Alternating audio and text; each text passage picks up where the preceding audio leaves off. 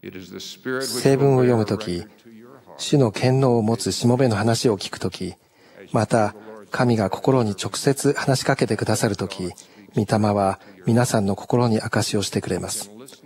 もし精霊について書かれた次の聖文が真実であると信じるなら、皆さんは確かに耳を傾け、その声を聞けるでしょう。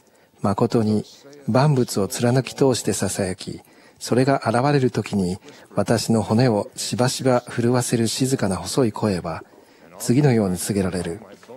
それが静かな声であることを明かしします。囁きであって叫びではありません。だからこそ内なる声に耳を澄ますのです。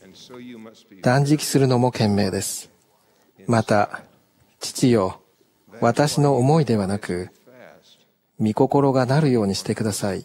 という気持ちの時に、一番よく耳を傾けられます。御心のままに行いたいのですという時、静かな細い声が心を貫き通すような思いを味わうでしょう。骨を震わせるかもしれません。多くの場合、心が内に燃えるのを感じます。静かに、しかし思いを高め、新しい確信を与えてくれるように燃えるのです。